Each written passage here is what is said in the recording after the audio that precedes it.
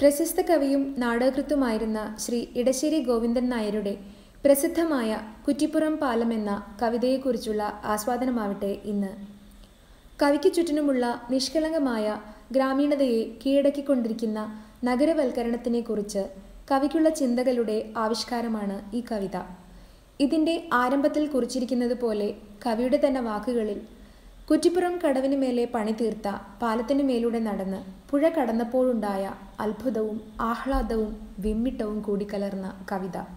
ഇരുപത്തി മൂന്നോളം ലക്ഷമിപ്പോൾ ചെലവാക്കി നിർമ്മിച്ച പാലത്തിന്മേൽ അഭിമാനപൂർവം ഞാനേറി നിൽപ്പാണടിയിലെ ശോഷിച്ച പേരാർ നോക്കി.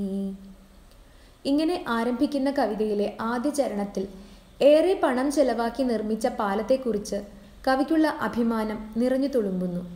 ഭൗതിക വികസനത്തിന്റെ ഉന്നതിയിൽ പാലത്തിന്റെ നിർമ്മാണത്തെ ചൊല്ലി ഉത്സാഹവും സന്തോഷവുമാണ് കവിക്കുള്ളത്.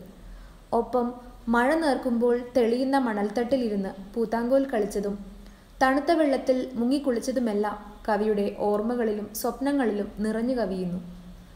കുട്ടിക്കാലത്ത് കുരുവികളും കൊക്കുകളും ഒക്കെ പൊങ്ങിപ്പറന്ന് അവയ്ക്ക് മാത്രമേ സ്പർശിക്കാൻ കഴിയൂ എന്ന് കരുതിയിരുന്ന ഉയരങ്ങളിലെത്താൻ കഴിഞ്ഞ സന്തോഷത്തിൽ പാലത്തിനടിയിലൂടെ ഒഴുകുന്ന പുഴയെ നോക്കി നിൽക്കുമ്പോൾ തനിക്കുള്ള അഭിമാനം അദ്ദേഹം മറച്ചുവെക്കുന്നില്ല ആടോപത്തോടിവൾ പേമഴയിൽ ആകെ തടം കുത്തിപ്പാഞ്ഞു നിന്നു. ഒരു തോണി പോലും വിലങ്ങിടാതെ ഗരുഡനും മേലെ പറന്നിടാതെ.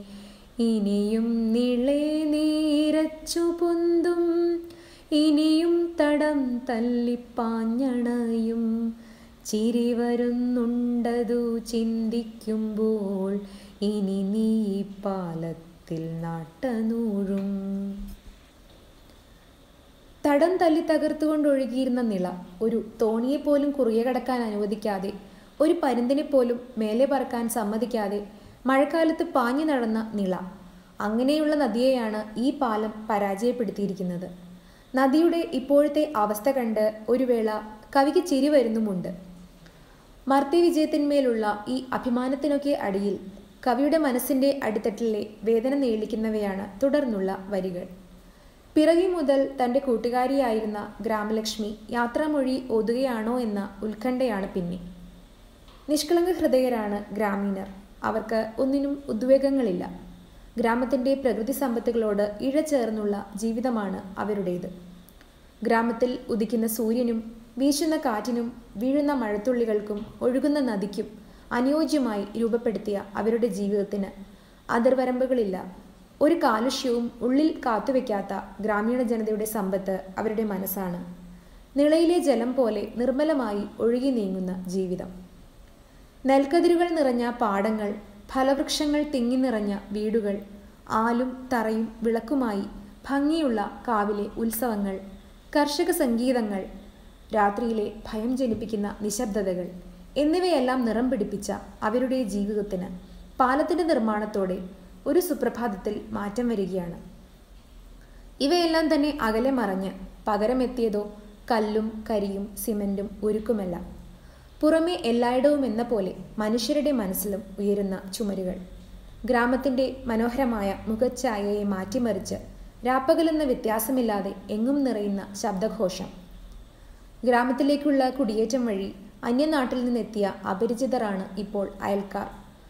അവർ തമ്മിലുള്ള സംഘർഷങ്ങൾ. മല്ലൂർ കയം എന്ന പേരാറിലെ അഗാധമായ കയമിനിയില്ല. അതിനു സമാനമായി മല്ലൂരത്തേവരും ഇനിയൊരു തെരുവ് ദൈവമായി മാറിയേക്കാം എന്നും കവി പറയുന്നു. ഒരു നിമിഷാർത്ഥം കൊണ്ട് പോലും പ്രകോപിതനായേക്കാവുന്ന ഒരു യന്ത്രക്കിടാവ് എറിയുന്ന പമ്പരം പോലെ അന്തിമഹാകാളൻ കുന്ന് കറങ്ങി നിന്നേക്കാമെന്ന വിമിഷ്ടവും കവിഹൃദയത്തെ നോവിക്കുന്നുണ്ട്. വികസനത്തിന്റെ പേരിൽ ചൂഴ്ന്നെടുക്കപ്പെട്ട സമ്പത്തുകൾ അംഗഭംഗം വന്ന ഗ്രാമലക്ഷ്മി ശിഥിലമായ ഹൃദയബന്ധങ്ങൾ അനാഥമായ കാവുകൾ ഐതിഹ്യങ്ങൾ നഷ്ടപ്പെട്ട വിശ്വാസങ്ങൾ ആധുനികവൽക്കരണത്തിന് മുമ്പിൽ തന്റെ ശാന്തസുന്ദരമായ ഗ്രാമം നഷ്ടമാവുന്നതിന് ദൃസാക്ഷിയായ കവിയുടെ ദീർഘവീക്ഷണം വ്യക്തമാക്കുന്ന അവസാന ചരണം ഇങ്ങനെ. കളിയും ചിരിയും കരച്ചിലുമായി കഴിയും നരനൊരു യന്ത്രമായാൽ അമ്പ പേരാറെ നീ മാറിപ്പോമോ? ആകുലയാമോരഴുക്കുചാലായി മനുഷ്യൻ കളിയും ചിരിയും കണ്ണീരും കൊണ്ട് മാത്രം പൂർണത കൈവരിക്കുന്നവനാണ്. ഇതേ വൈകാരിക ഭാവങ്ങൾ കൊണ്ട് സമ്പന്നമാണ് പേരാറും. മാനുഷിക വികാരങ്ങൾ കൈവിടിഞ്ഞ് ഒരു യന്ത്രമായി മാറുകയാണ് മനുഷ്യനെങ്കിൽ അതിൽ ദുഃഖിതയായി നീയും ഒരു അഴുക്കുചാലായി മാറുമോ എന്ന് കവി പേരാറിനോട് ചോദിക്കുകയാണ്. നിരന്തരമായ വായനയിലൂടെയും പഠനങ്ങളിലൂടെയും കാലത്തെ അതിജീവിച്ച കവിതകളാണ് ഇടശ്ശേരിയുടേത്. യാഥാർത്ഥ്യത്തോട് ചേർന്ന് നിൽക്കുന്ന സത്യസന്ധമായ അനുഭവങ്ങളാണ് അദ്ദേഹത്തിന്റെ കവിതകൾക്ക് പലപ്പോഴും വിഷയമായിട്ടുള്ളത്. തനതായ ഭാവങ്ങൾ ഉപേക്ഷിച്ച് യന്ത്രമായി മാറിക്കൊണ്ടിരിക്കുന്ന ഇന്നത്തെ മനുഷ്യന്റെ അവസ്ഥ അക്കാലത്ത് തന്നെ ആവിഷ്കരിക്കാൻ കഴിഞ്ഞുവെന്നതാണ് കവിയുടെ ഉൾക്കാഴ്ചയുടെ സവിശേഷത. കുറ്റിപ്പുറം പാലം എന്ന കവിതയെ ഈ വിധത്തിൽ വിലയിരുത്തുമ്പോൾ പോലും മനുഷ്യ പുരോഗതിയിൽ അഭിമാനിക്കുന്ന കവിയെ നമുക്ക് ഒട്ടും വിസ്മരിക്കുക സാധ്യമല്ല. പാലം പോലെ മനുഷ്യനിർമ്മിതമായ ഒരു ഭൗതിക വസ്തുവിനെ വിഷയമാക്കി കവിത എഴുതുന്ന ഒരു അപൂർവത എടുത്തു പറയേണ്ട ഒന്നാണ്.